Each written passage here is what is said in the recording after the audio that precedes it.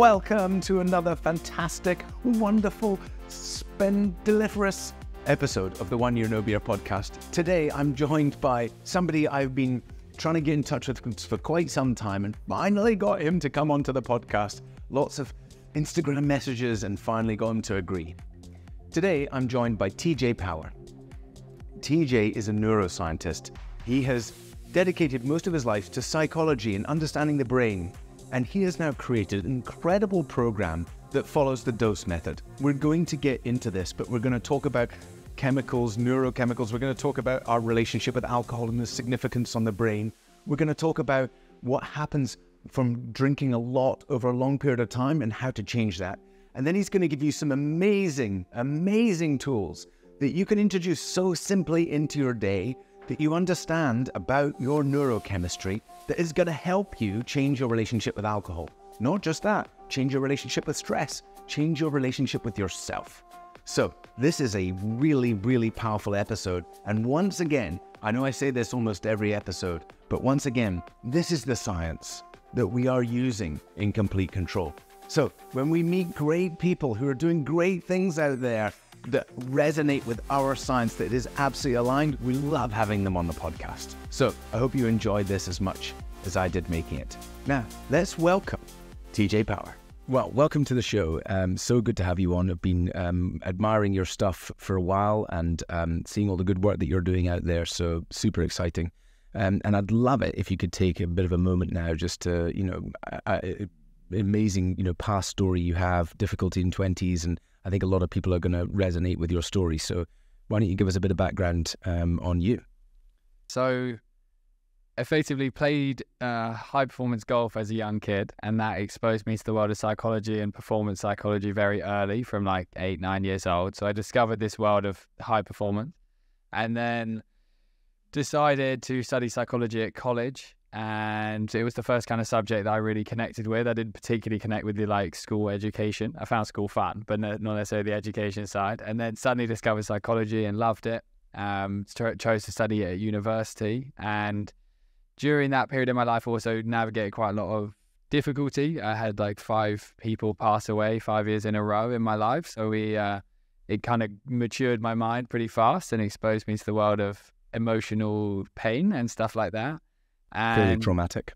Yeah, for sure. I was just very young brain to be going through those kind of things, and I then yeah studied psychology at university, loved it. Uh, went on to lecture at Exeter University and build my own kind of psychology and neuroscience education and then went into research and became a neuroscientist. And then during COVID, I was kind of in that whole researchy lecturing space and thought maybe I could be teaching companies and schools and stuff like that how to navigate the mental health challenges that COVID was creating and launched this company called Neurify. And uh, yeah, over the last few years, have trained a lot of people in our neuroscience based method how to feel a bit better. That's super cool. Um, and uh, what an amazing project you've got going on there and doing great stuff. So, um, yeah, but you during the twenties, and I mean, you rushed through some things there. We've covered a lot of topics. Um, you um, had a bit of a party lifestyle for a while, which I know my audience will resonate um, well with.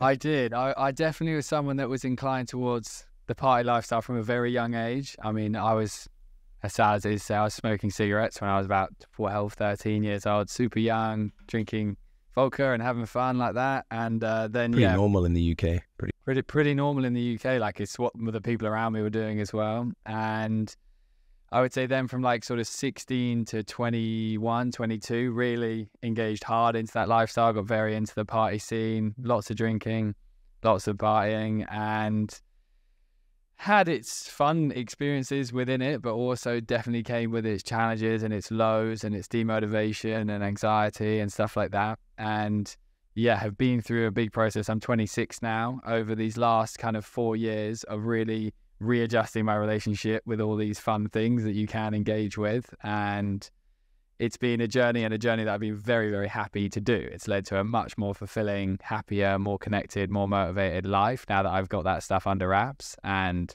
yeah, I'm happy to dive into whatever aspects of the experience you think could be cool.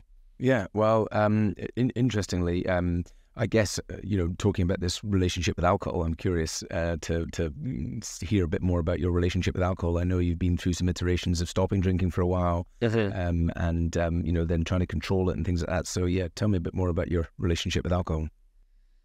Yeah, I would say so. uh, For context, almost a relationship for five years of close to drinking every day, uh, and there there were periods of time where a non-drinking day could be two or three pints. That would be a non-drinking day, and then there was days with significantly more pints than that. And when I was at university, I got very into the sports side of university, and there was this big kind of social scene, and it included a lot of drinking. So I was very immersed in that. I was actually the social sec, like I ran the events, so I was like kind of in charge of getting everyone charged up and partying and stuff. and then, which was kind of fun at the time. That was basically yeah my job too. So for too much 13 too much alcohol that's for sure. And then i finished university i finished my third year of university. I was going back to go to the masters and go into the lecturing and i thought right this summer i'm going to really get myself together. I'm going to get myself super clean super healthy fit motivated. So then i had about three months of that period no drinking. And throughout that next sort of six to nine months really didn't drink much at all. Uh, so very low drinking I then came back to drinking a little bit. It was very hard. I was living in a house of university students that were all partying super hard. So it was very hard to not engage with it at all. And then drunk for another few years, like a little bit, nothing too crazy. And then last year, I did seven months without drinking from uh, early in the summer, like uh, May sort of time, all the way through to January this year, which was really good. I think really helped me to adjust my relationship with kind of social life and drinking and in general led to me feeling really good i cannot explain the joy that i experience when i wake up on a saturday or a sunday morning feeling really good and Yeah. it's like these are our two rest days depending on how you construct your work but these are our two rest days and they almost become like hangover recovery days and not yeah. joyful rest days and waking up on a Saturday morning and going for a coffee and sitting there feeling good is uh, so unbelievably enjoyable. So I, I love that. It over the last sort of six months, I have had alcohol back in my life a little bit, but not really to the extent of like getting smashed and stuff like that. Yeah. And so when you were going through this journey, how much did the understanding that you were going through and the research and, and the neuroscience play into you changing your relationship with alcohol? Were you like self analyzing and then learning about it and being like, well, hang on why am I doing this and what's going on? And yeah, how much did that play into that? A huge amount. I, I've gone so deep into neuroscience and specifically neurotransmitters, things like dopamine and oxytocin, serotonin. And I've gone so deep into that world that I almost see the world through the lens of these neurotransmitters just because I teach it all the time. And I see my own experience of life through how my dopamine levels are right now, how my oxytocin levels are. And it's just a useful framework for me to construct my life through because if I'm high in these chemicals and I feel motivated and connected and confident and energetic, like I love that experience. I love feeling awesome. And the alcohol really hits the dopamine system extremely hard. And the low dopamine experience of feeling kind of apathetic and, yeah, after drinking, of uh, feeling apathetic and demotivated. And then if you really smash it, kind of like a depressed type energy in your mind, I hate that feeling. And I do think my brain has an inclination to feel that feeling. I don't just have like a natural, super happy brain that always will feel amazing. I really feel the hangovers. I feel the the challenge it brings. And I find the more I've deeply understood and connected to the feeling that it brings, the more I'm motivated to not find myself in that experience, basically. Yeah, completely. Okay, well, let, let, let's talk about that. So, what does alcohol do to the brain from the neurotransmitter perspective? Yeah. So if we focus on the dopamine, dopamine's such an interesting chemical and it's become pretty famous in the modern world. I think people know like, oh, dopamine, yeah, that's like a happiness chemical. It makes you feel good. To give you some deeper context, effectively the reason your ha- your brain has dopamine in it, the reason it evolutionarily developed within us is it basically is a chemical that creates drive to pursue activities that are difficult and then gives you a rewarding feeling if you're doing them. So if you're say for example we go back to the hunter gatherer days and i think it's useful to see neuroscience through evolution because our brain for 300,000 years was running around in forests and now it sits behind these computers but it's really built for that original concept and if you had a hunter gatherer Dopamine would basically give them drive and desire to want to go and hunt and build shelter and find food and explore new lands.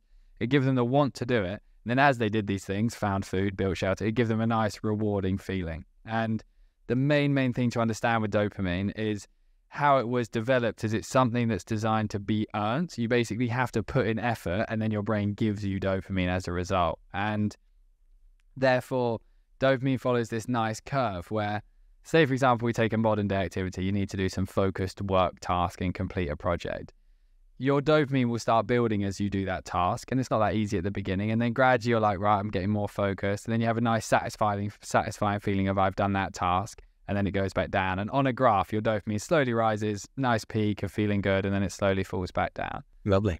The difficulty we have now is we've always wanted dopamine. We've always wanted to find the food and build the shelter. However, over the last few hundred years, we created all these ways to hack the dopamine with the cigarettes. And originally, things like brothels would have also been like a hack for dopamine to get dopamine from sex. So, like cigarettes, alcohol, brothels, these kind of things a few hundred years ago. And then now we've furthered that with social media and drugs and junk food and stuff like that. But effectively, the biggest thing with alcohol is rather than earning pleasure, putting in effort, and then feeling good, you immediately experience a huge, huge spike in dopamine. Um, when you drink alcohol, for example, once you ingest a drink, your dopamine levels will 2x. They'll effectively double. And it takes about 15 minutes to get there. So, drink an alcoholic drink, your dopamine levels double.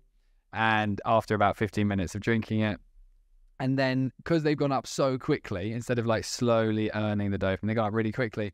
The brain doesn't know any better than to try and rebalance it back to its baseline level. Just like if uh, if your heart starts beating really quickly when you've seen a heart monitor in like a hospitally show, it starts beating quickly, but it also beats really slowly and it starts going like this because it's always trying to counter. And effectively, what happens is you drink the alcohol, you feel really, really good, and then the dopamine is like, how do they get up here? And then it starts to crash really hard and it goes below the baseline level, and it will make you feel crap effectively. And that repetitive cycle, really quick dopamine crash, really quick dopamine crash, eventually causes this mechanism to burn itself out, basically. If you imagine it like if you had a manual car and every day you got in there and you revved the engine and didn't put it into gear, you'd burn that engine out. And effectively, the alcohol is burning this dopamine mechanism out by giving us too much quick pleasure. Wow. What is the actual effect of burning this dopamine system out? What's the what what are, what are the signs?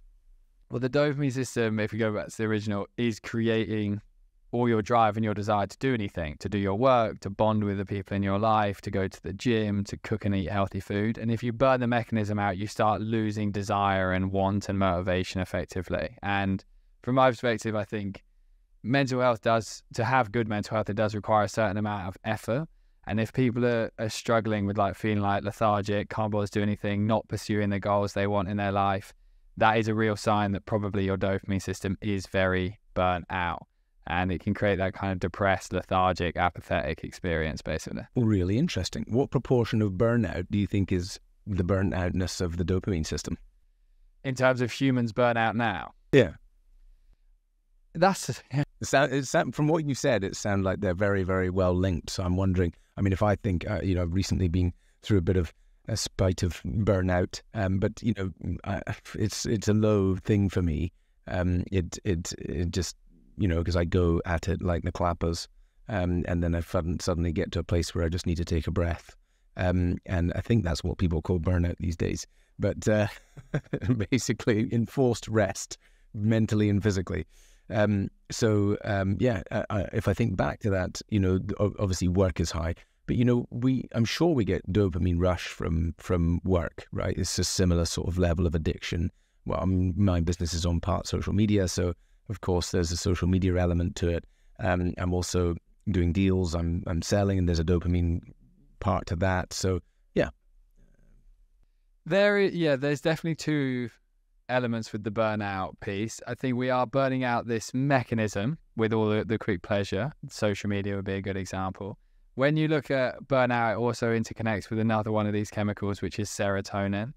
And serotonin is the, the chemical that's really responsible for your actual energy levels and your mood. And this chemical is being made inside your gut. 95% of it is being made in your gut.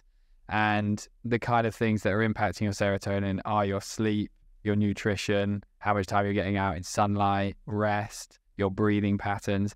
And effectively, I think a lot of people are very burnt out because that mechanism is actually not activating very well. People's sleep is off, their food is off, Mm, their totally. body isn't effectively getting treated in a nice, natural, healthy way. So you've got like two elements of it. One is the quick pleasure stuff, burning out the desire and want, but then one is like the lack of like care for the body that's burning out the serotonin system.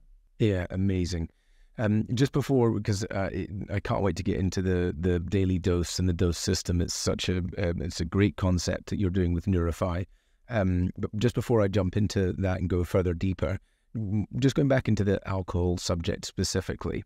Um, so we've we've got this effect where you know two x rise in 15 minutes, and then suddenly this crash and this repetitive use is burning out the system. So what happens to the brain over time? Um, if I think about my relationship with alcohol, um, and you know, to- I know tolerance goes up, so you have to build tolerance, um, and so psychologically, you can take. I mean, back in the day, I could probably do ten pints and still have you know completely clear conversations with people, no problem, because it was my job, right? I'd be drinking all day, all night, um, and still be able to function and remember stuff the next day. You know, psychologically, I just didn't let myself get into a state where I forgot or didn't know what was going on because it was so critical to my role. But then if I look at that relationship and then after changing my relationship with alcohol, now if I have a drink, I mean, you say depressed after a binge session. I'm depressed or, or low. I can get, you know, very, very low after just having one or two drinks. Um, so, yeah, let's talk about the evolution of the brain over time. What is it doing um, from alcohol perspective? Yeah, well, one of the challenges is it would have taken you a lot of drinks back then to get that significant dopamine rise.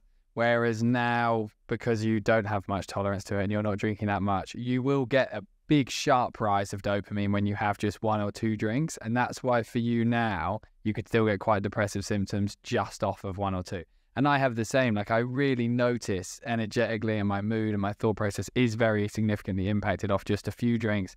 And relatively speaking, it might have taken uh, five, six or seven or eight to achieve the same challenge of one or two that I have now. And it's just because, yeah, the dopamine is going to get a sharper spike effectively if it doesn't have it very often. Just like if you went and had a McDonald's every day, eventually the McDonald's wouldn't be that exciting. Whereas if right now I went and ate a Big Mac, I don't really eat Big Macs, I'd be like, fuck, this is really, really high dopamine. I'd get a big spike off it. So it's just you build tolerance to the amount of Yeah. spiking that can happen. That's great. And I guess that also is reassuring because it shows that when you do change your relationship with it, your dopamine system starts to to um, rectify itself. It starts to go back to a, a healthier state. 100%. You basically have in your brain what's called your baseline dopamine, the amount of dopamine your brain is producing each day. Is that different for everyone? different for everyone. If you meet someone that's like a really high energy, excited person, they're going to be a slightly higher naturally baseline dopamine. If you meet someone that's a little bit like calmer, maybe, they're going to be slightly lower. But everyone has the amount that their baseline dopamine will be producing. And when we live a life that requires significant amounts of hard work, so say you're someone that wakes up, you make your bed, you have your shower, you're quite disciplined, you work hard, you go to the gym, you put in effort with your family, you do things that are hard, your brain is thinking, okay, this is someone that's going to require a significant amount of natural dopamine production because I need to support them to have the motivation to live this life they want. And gradually, when you live a life of effort, your baseline begins to rise and rise. And a high baseline dopamine feels like a very productive, excited, happy state. On the other side, if you're waking up, you're going to the social media, your food's crap, your booze is high, effectively, when we're talking about revving that engine, you start burning out the production of it, and the brain goes, can't cope anymore, can't, I can't produce. So the baseline begins to drop into a more apathetic state. In a very similar way to how kind of type 2 diabetes works. You know, you eat too much sugar and fat, and then suddenly your body can't produce insulin because you, you break the mechanism. We effectively type 2 diabetes in our dopamine. in system. the brain. wow, that's so fascinating. Yeah. Um, but the amazing thing is that this thing recovers. I mean, it, it does. the recovery period. How long is that? You know, if you if you're changing how you bring dopamine into your life, how long does it take to recover that system?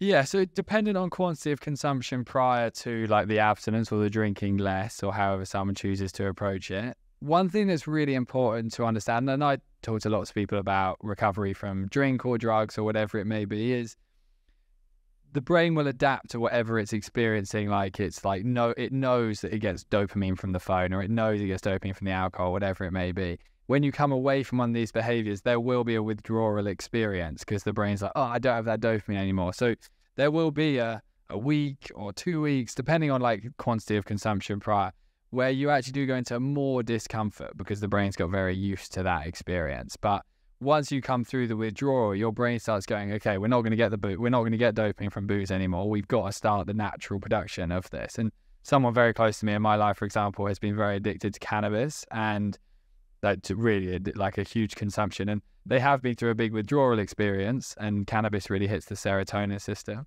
But now their serotonin is beginning to naturally recreate itself, and because it's no longer reliant on that drive to create it. And it's the same. Like after a period of time, the brain starts thinking, okay, we're not getting it from there. Let's re-kick in the engine effectively. Let's start producing this uh, this ourselves, and then it starts to recover. And it can be fast, and especially like in a withdrawal time when you're coming away from one of these addictive behaviors if you can engage in some of the exercise or some cold showers or whatever it may be, one of these like dopamine enhancing behaviors that is going to support because it's going to provide natural dopamine when you're not getting it artificially anymore.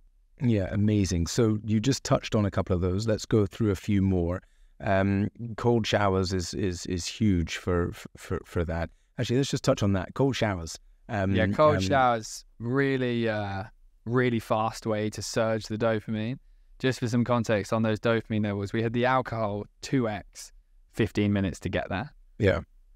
If you, with, uh, with cocaine, a more powerful drug, you've got a 2.5x increase and it will take about nine minutes to get there. So it's even faster spike, faster crash. And if you've in, interacted with that, people may have interacted with that, you'll notice the big surge and fall cold showers is the only thing that this uh, psychologist called Sramek in the early 2000s found that it could also 2.5x the dopamine, the same as what the cocaine was doing. And it operates with a completely different side of dopamine. We can go into this, but it basically will last around two and a half hours. So you're looking at a really prolonged dopaminergic Lovely. benefit. So it's fast, but then has a longer well, tail. It's really interesting because how dopamine actually functions is it works on this system called your pain pleasure balance. And you've basically got this part of your brain called the hypothalamus. It's above like the roof of your mouth, if you imagine, so you can have some knowledge in your head right now. It's above the roof of your mouth. You've got this hypothalamus, and in there is where dopamine is initially produced. And in there is also where you can experience pain and discomfort, and you can experience pleasure and joy. And how it basically works, they work on a seesaw so that when we experience pain and discomfort, so for a hunter gatherer, they're out there in the cold, fighting animals, trying to survive, ridiculously painful experience, our brain would create a pleasure response and almost make us feel good. Because if we were just like, this is horrible, we'd give up effectively. So it has this mechanism where the seesaw tips towards pain, you're in a painful discomfort place, and pleasure would rise. Okay, so you'd have like a good experience in your head. The difficulty now is we have the seesaw on the other side. So we're doing super high pleasure and our brain is trying to go, no, I'm going to make you feel like crap to reinforce not engaging with this. When you take something like cocaine or alcohol, it just spikes pleasure and then crashes, and the dopamine crashes. The cold shower actually goes the opposite way. It puts you into pain. And then as a result of going into pain, the body's like, oh shit, I've gone into pain. I'm going to put them into pleasure afterwards. And you have that Love prolonged, prolonged benefit because we are, as humans, really adapted to be able to deal with way more physical discomfort than we do now. Like we we actually survive. I, you, you can't even imagine surviving outside now. Like we'd all struggle to do like a day or two out in a forest. Speak for yourself. True. Maybe you're capable. And uh, just hand me an axe and I'll sort everything out for you. No. And if you came back from that trip with your axe, you'd feel pretty good because your dose would be surging. But the uh, effectively it's that opposite mechanism in action. It's pain and discomfort results in pleasure. It's the other side of the seesaw. There's somebody I need to introduce you to. Do you know the founder of Spartan, Joe DeSena? I don't think I do. Okay, I need to I need to get you on his podcast. Spartan. I imagine Obviously, he's putting Spartan. people into pain, and yeah, that, that's all he, way. That's all, that's all, he talks about. He's like, like we've all got too soft. Um, he had he had Dr. Anna Lembke on his on his podcast as we did, um, we had on, on the podcast here, and she talked about the pleasure pain balance and things like that. So I know he loves your chat. So yeah, so I need a hammer at the desk, and every time I need a little spike, I just smash my hand with a hammer. will, will that help? That unfortunately won't help because the brain has a good survival mechanism where it'll make you feel bad about hurting yourself okay. in that way. That's Can't trick it that way. That's more self-inflicted pain. But we need, some, uh, we need some. What are the what are the um, tools called to monitor dopamine levels in, in brain, or is it uh, is it yeah? What do they do to? monitor Currently, it is a very complicated process to, in immediacy, measure dopamine. You can measure it through like urine and blood, but you wouldn't get immediate data. No. You can use things like EEG and fMRI, but I would say society's understanding of, of these dopamine levels, like immediate understanding, like of how it's taking place, is still in its infancy. And it's something I'm very excited about to be a part of over these next sort of few decades because we're Yeah. going to make a lot of advancement. We are. I mean, I hope one day the space- whoop on my wrist can Yeah, uh, exactly. it will measure my uh, dose and then completely. I mean, and, and and recommend and and let you know and say you're low here and go for a run or you need I do have shower. some visions of how I'm going to create these things. So we will see what's amazing, amazing. um, yeah, you're in you're in such a cool space. I'm I'm I'm envious and, and anyways, awesome. Okay, um, we've gone quite heavily into dopamine. Uh, really, really interesting stuff. So let's just jump over to you. Have this amazing acronym DOSE. Um, it comes as part of what you're doing with Neurify. Just tell me those in detail, and then we'll go through the others in a bit more detail. Yeah, and I think it's really cool for us to look at all of these through the lens of alcohol because that'd be Okay. uh, obviously unique to this this podcast. Great. But so you have dopamine, and that's creating your drive. Requires effort in order to create it. You've then got the O in dose, which is oxytocin. This is the human bonding chemical, and uh, this is most predominantly released in a human when you're born. So in that moment of birth, your mum and you experience this massive surge of oxytocin that pairs bonds you together. Then you start having breastfeeding and all the physical touch and love in those first few months, and oxytocin starts building, creating this deep desire for human connection within you. And human connection and being part of a group and a family is very, very important, particularly for humans, because in a jungle, a human on its own is gone. You got no chance. We're not physically actually much of a predator, but as groups, we are extremely powerful. And this chemical effectively makes us want that group feeling of belonging. And anything that is moments where you're receiving love, where you're giving love, where you're contributing, physical touch, hugging, cuddles, sex, all of that intimate experience of being a human that bonds you with people, that is oxytocin.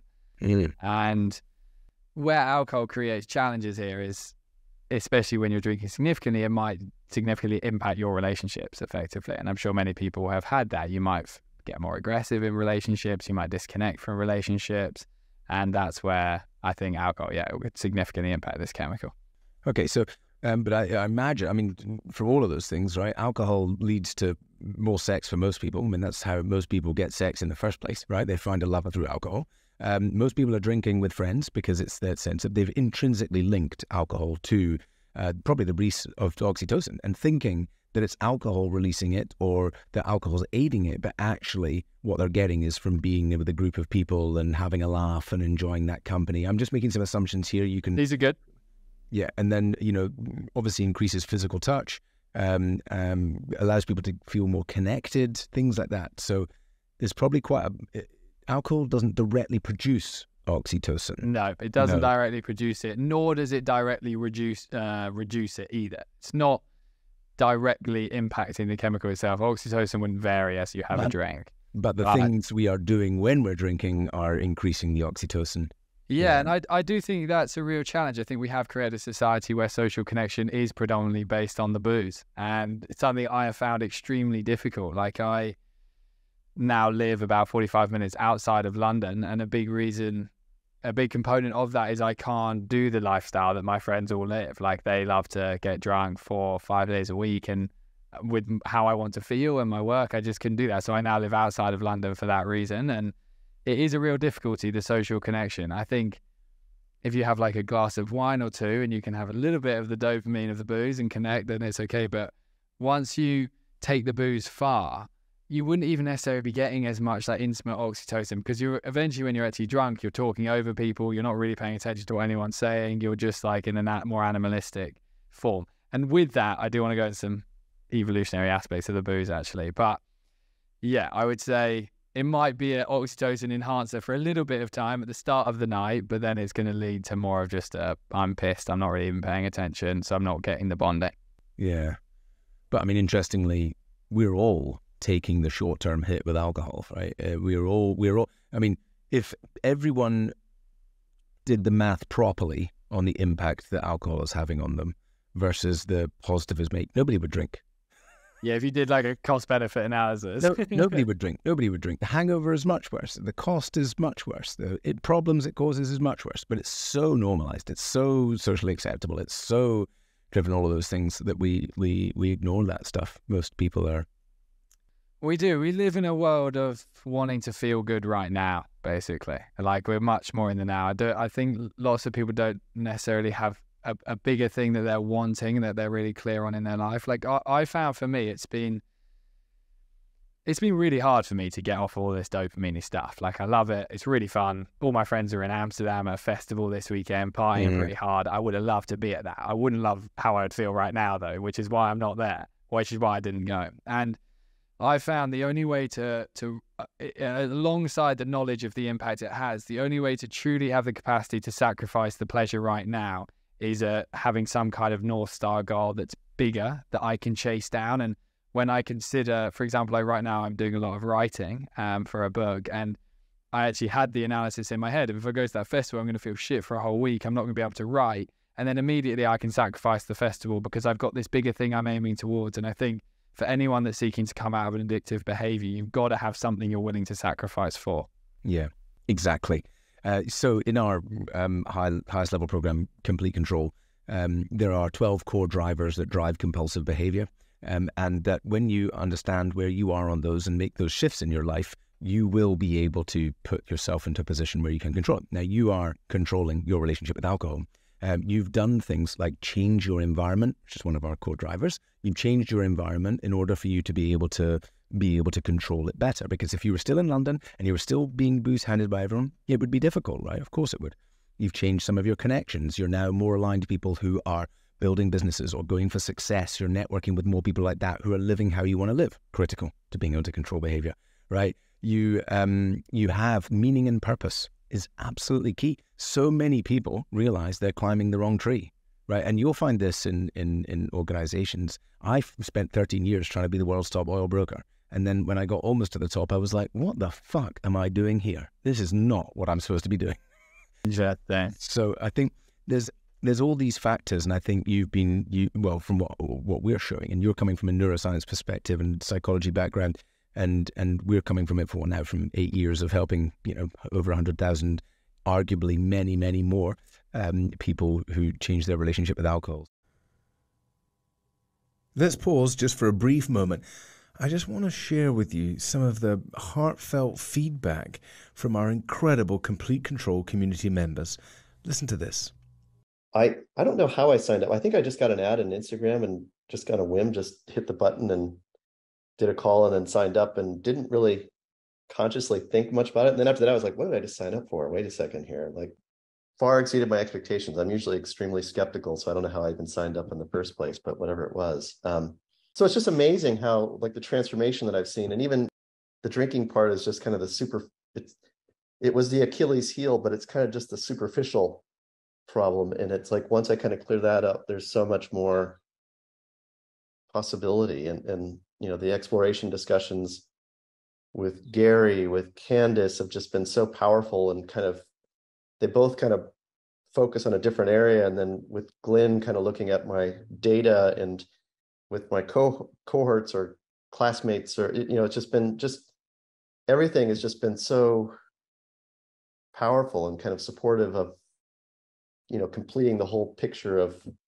how I do this um so just really grateful and and uh yeah and and and also just feel more grateful and not only just for all of you but just just in life in general it's just a little bit more clarity and peace and calm and and and so forth. So i am incredibly grateful for this entire program everybody on this call and everything that we were able to experience. Um i think that it delivered more than i expected honestly. I i like i've said before i've done a couple like challenges and different things and i think that this beyond um examining my relationship with alcohol and making i think pretty good strides in in um, staying alcohol free um, i think it taught me a ton about myself and how to like examine my habits and my thoughts and those kind of um, patterns and ways to ways to approach the things that worried me the most in this in this experience um, have just been invaluable. I think I'm leaving feeling um, in stronger in general, more self-aware in general, and um, just really more anchored in who I want to be and what my values are and how I can, you know, take better steps to achieve those. So it's been fantastic for me. And again, the our team, I, I really um, appreciate all the feedback and support from every single person on this call, but my cohort as well. It's been great. So I love everybody that I've met here. I have loved the program. I am not uh, an emotional person like this, but this has changed my life. It, it has given me a life. Um, and there's other things I need to do too. Um, but I don't have to do with alcohol anymore. So thank you. It's been an amazing journey and a very, I appreciate the professionalism. Whenever I feel the stress, I, there's there's something that I can go back to, to everybody and the sharing from everybody and the professionalism of the program. So I loved it and I've grown a lot. So, Woohoo! and kisses. One word is transformational. That's a word that's been bandied about for decades, but in this, it is absolutely accurate if I was to use one word. This was a great investment.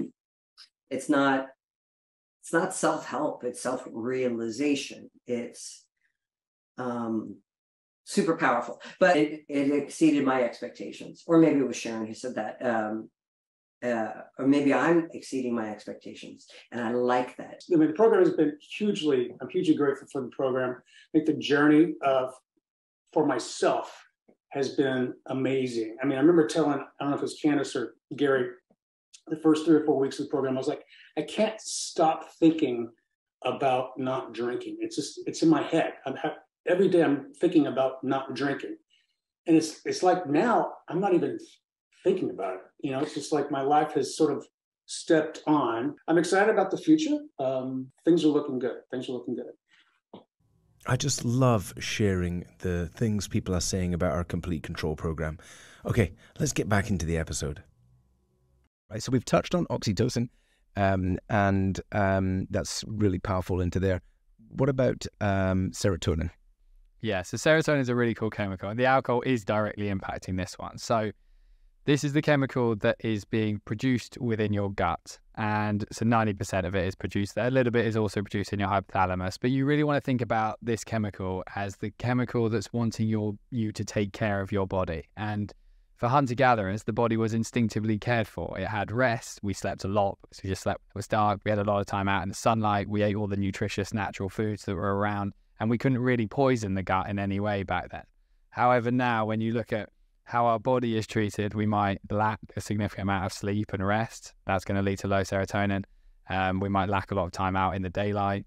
It's very easy as British people to know that our mood is directly connected with whether it's sunny outside, and serotonin is the neurology of why that is. That's why I live in Mallorca. There you go. You're getting a nice serotonin off of that. And then, most importantly, with the booze, your gut is wanting great nutritious food to turn up. It's wanting fruits and it's wanting, well, nutrition is a big topic, but it's wanting good, natural, nutritious food to turn up. And then it's going to go, brilliant. I'm going to be able to build serotonin out of that. And as a result of building serotonin, your mood and your energy levels are going to be great. And unfortunately, when the booze comes in, not only is it creating this spike and crash in dopamine, but it's coming into the gut and the gut is thinking, shit, I'm not going to, not only am I not going to be making serotonin out of that, that's actually going to reduce our entire function as a, as a, like a being within your stomach right now. And hmm. this process is going to go towards, okay, how do I get the booze out instead of how do I build serotonin? And this dip in your mood, your energy levels, this is really connected to the alcohol sitting in your stomach effectively. There's something else in here which I, I'm going to forget to ask if I if I don't or, or comment on it now, and I th- think you'll probably align with this.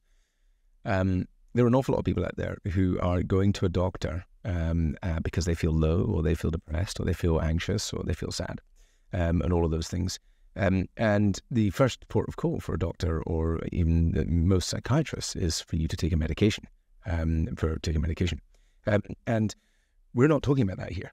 We're talking about like the absolute basics, the absolute fundamentals.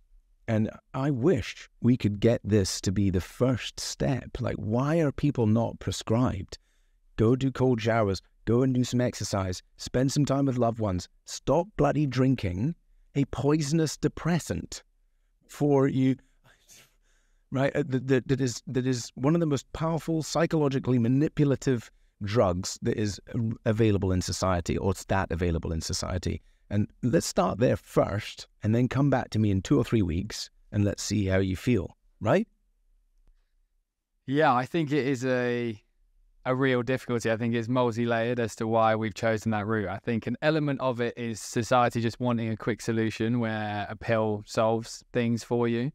And as I said before, like we always like quick wins as a society these days, and that might seem like a, an easier route to take. I think medication can serve its purpose if someone's really, really in a very, very difficult spot, and it might be the thing that can stabilize them but I definitely don't think it should be the first point of call. I think if if all of these things were in place and your relationships were good and you weren't drinking, you were getting good movement, your nutrition was good, you're working on your sleep, and all of it was really stabilized, and then you were like, wow, I feel awful, I'm super anxious and depressed, then maybe then it should be a consideration. But I think we're very much we've got it flipped around.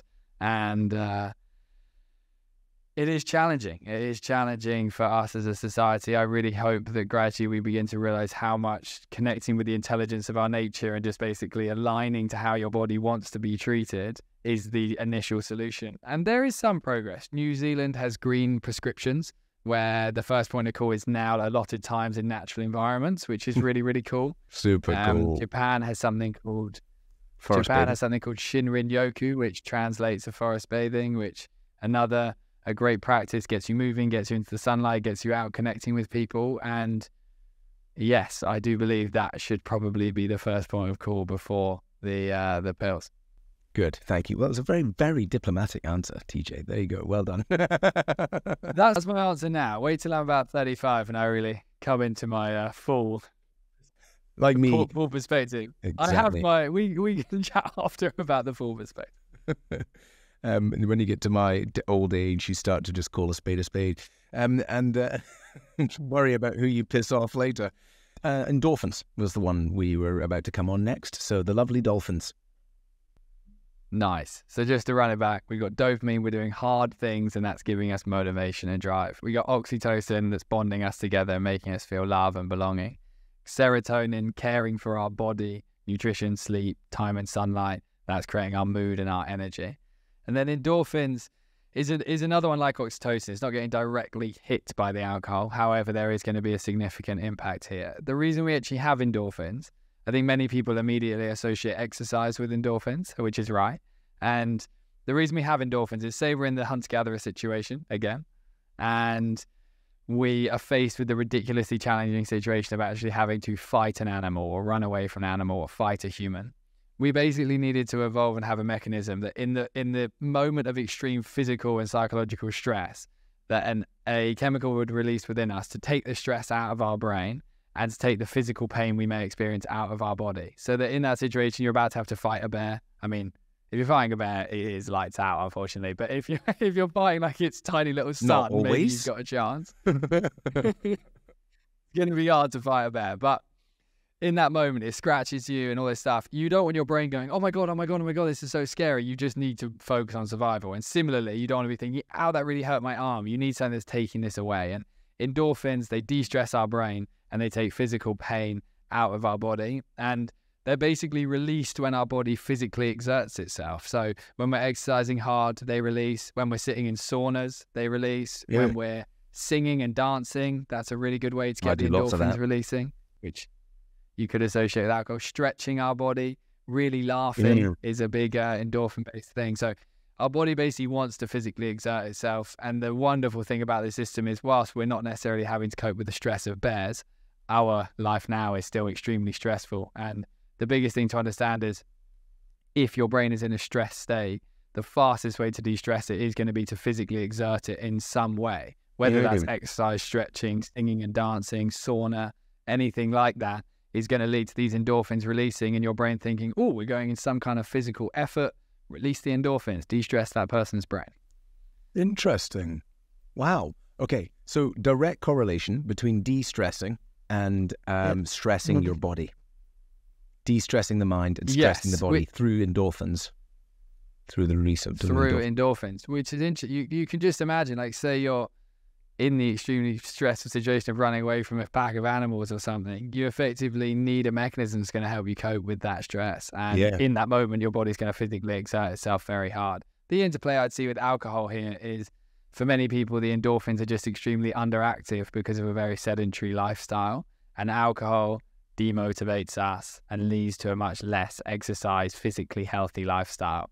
And uh, for many, the endorphin system is so underactive, and many people are struggling with this chronic stress experience, but they're never doing actually the core behaviors that de stress the brain. I've just realized a way to help my whole team de-stress is like when they're all fully stressed out their mind and people are talking about burnout and things, I can just dress up in a bear outfit and come running into the office. That is the solution. And maybe like slightly scratch them and and then they'll get like a big endorphin release. Fill them. Maybe I just get a real bear. See what? No. Okay. Let's move. If you could ever do a team day where you go like in saunas or something, that would be a good endorphin release. That sounds a bit better. Baths also have a good endorphin release. Like I'm sure people have experienced, like you get in a bath and you suddenly feel like a, a de-stress come Mm. over you, and that's your body. Although we know we're lying in some nice warm water and it's okay, the body's like, shit, I'm lying in really hot water here. Is this dangerous? And endorphins release. Yeah. So now um, we we came up with this idea of this um, self care smorgasbord, right? So not you don't always want to do everything all the time. You don't you know consistency sometimes, right? So if you have a smorgasbord, sixteen items which you consider are self care for you, right? Things like acts of giving or having a cold shower or you know uh, doing some exercise or meditating, breath work, right? So you have got sixteen things on this, and you just look at it and you go, look, what four can I do today? Right? What what four of those can I do? and and and at least they're moving me forward from a self care perspective. Now it sounds like you could you could pull similarly pull a whole list for the for the dose here. When should you be thinking? Now you've mastered this, so when should you be thinking? Oh, I need to do something for serotonin, or oh, I need to. You know, are you teaching people to get more aware of when they need these chemicals and when they're deficient on them? Yeah. Yeah, definitely. So the the key thing here, and as I said at the beginning, like I really have progressively began to see my life through the chemicals, and it's been great for mental health and work performance and things like that. And it's really being able to identify with the symptoms of how you're feeling, and then the more you can understand the symptoms, the more you can figure out which chemical to boost. And in general, with everything to do with making progress with your health, say with alcohol, you have to have like a deep awareness of how it is actually making you feel, and then Yeah. you might be motivated for change. So, spending time tuning into how you feel, I think, is valuable. And effectively, you'd break it down into to four parts. If you're in a very demotivated, apathetic, can't be fucked state, effectively, that is dopamine. You need dopamine. So, demotivated, you need the dopamine. If you're in a kind of lonely, isolated, I don't feel that connected to people state, you need oxytocin.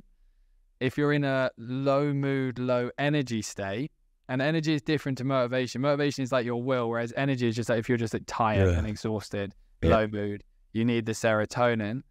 And then if you're in a stressed state, you need the endorphin. So demotivated dopamine, lonely oxytocin, low energy serotonin, and stressed, you need endorphins. And I just like try and see it through that lens. Like, say for example, I can't really be bothered. I'm in a demotivated state. I need to do some work. One of the awesome things to build dopamine is actually the act of discipline and cleaning your environment around you. And you'll notice that if you clean up your kitchen or your lounge or something, you get a kind of a feeling of accomplishment and satisfaction. And rather than just trying to push myself through the task, I'll be like, I'm just going to leave it. I'm going to put some music on, which puts me into a bit of a good mood. And I'm going to go like clean the kitchen, sort out my bedroom, sort out my desk. And the act of that accomplishment will build some dopamine. And then coming back to the task is going to be way easier because I'm going to have more dopamine abundance in my brain. So you and you can begin to just like play this like musical instrument of your brain chemistry effectively. That's amazing. I love that. It's super smart stuff that you're teaching people here. Okay, so tell us about Neurify. T- Um, what are you up to? What are you doing? Um, and and yeah, tell us about Neurify. Yeah, so Neurify is a company I launched a couple years ago, and the the primary thing I've been focused on is how do we get this education to people in a very impactful way that really works. And we've built this four part training experience where we have one session on each of these chemicals, and It takes place over a month. It's hyper interactive and extremely good. We we extremely good for bonding companies together and connecting them on this whole topic of mental health through a very optimistic lens of chasing feeling good rather than like running away from anxiety and depression. And yeah, we do it in companies, we do it in schools. We have trained about 35,000 people now in the method over the last sort of 12 to 18 months and it's pretty fun. It's uh, I love delivering it. We're now kind of maxed at the delivery component of things. I've I've we're, we're booked to something like April next year, and now I've got to figure out the next stage as an entrepreneur of figuring how out how we it. scale it into uh, a platform. We've got some. Uh, we have these twenty core behaviors um, of dose, and we've just recently been going through a process of turning all these things I'm chatting about into these physical forms. So companies and stuff like that can have them in front of them, which is great for discussion. And yeah, I feel like dose is a cool method, and I'm just trying to get it to as many people as I can. Love it, and I'm I'm super happy to share the message. And um, we have a lot of business owners, um, a lot of people who work at larger organisations um, who listen to this podcast, who are part of OYNB, who come into our programs. So um, yeah, I think it's really really interesting what you're doing. Um, I already told you before that I think there's definitely some synergies um, perhaps we can we can help each other a bit more. And I just yeah love love the stuff that you you're doing. It's super cool. Um, yeah. So any touch on booze lightly in dose, and uh, it'd be great to send people to you for the true booze training. I think yeah, exactly. Literally one of the most important things society needs is managing the booze. I think it's vital. So I think it's yeah. very cool what you do. Thank you very much. Um, and I think you know we're coming at it such a different angle from from most others now, um, having moved you know into a more wider market about being control. I think that's where the vast majority of people are are looking um, at what they want. They want to be able to reduce down, and that's far more complex than getting just somebody to stop. It's much easier to stop. But I also we didn't talk about this, but I also entirely agree with you that the the best way for somebody to get a better relationship with alcohol is a period of abstinence. Like there's just no, we're not gonna we're not gonna doubt that but abstinence does not equal control. Um, and we've seen that for for many many people. So that's the importance of doing this work. And I think what you're doing here is so intrinsically linked into this part. I've learned a lot. You're going to help me improve some of our programs based on the the conversations um, we've had today. So that's going to have a knock on effect on everybody that we do work with going forward. So thank you for that. Um, and hopefully this is the beginning of conversations um, between us, TJ. So Thank any any any final thoughts or anything you want to share with anyone before we finish up? I would really like everyone listening to have a goal where this week they have to go on a walk without their phone. And if it's scary to go without your phone, just put it in a bag and have it on airplane. And you have to try and go on like a 40 minute walk in the quiet. And you have to ask yourself what's the number one thing that you want in your life right now and try and map out what the vision looks like to get towards that goal. Wow, that's cool. Okay, so homework for everyone 40 minute walk uh, in some nature. Let's not do it in the city. Or if it needs to be a park. Yeah, it has to be in a natural environment. It's got to be some kind of park. No phone and go and think about. No phone. Yeah, think about what you want to do What's and the plan. the number one thing you want in your life? what is the number one thing? Ask it. Your instinct knows already, so it won't take long to come up with an answer. But it might be something you deeply want in a relationship. It might be to do with your career. It might be you need to work on your relationship with alcohol. It might be something to do with exercise. But ask yourself and ponder what a plan looks like. I think our instinct deeply knows the solutions to lots of our problems. I just think we're constantly distracting ourselves away from them. And the more time I think you spend out in the nature, in the quiet, and tap into your intelligent instincts, the uh, the better your behavior becomes. Yeah amazing. There's so much we didn't touch on, um, but we we're we're running short time, so I need to get you back on again. So that's easy. Um, this is the first of many dates. that would be fun. oh, and where does everybody find you? How do we? You're you're prolific on Instagram. You're on LinkedIn. So yeah, share those. Yeah, LinkedIn and Instagram definitely good platforms. If you just look at TJ and then Power P O W E R, Instagram's my main platform. Lots of different ways in which you can learn guidance about how to optimize your brain chemistry over there. Fantastic. Thank you for the work you do. Keep going, my man. You're doing great stuff. So, um, thank you, mate. Well done. All right. Thanks, TJ. See ya.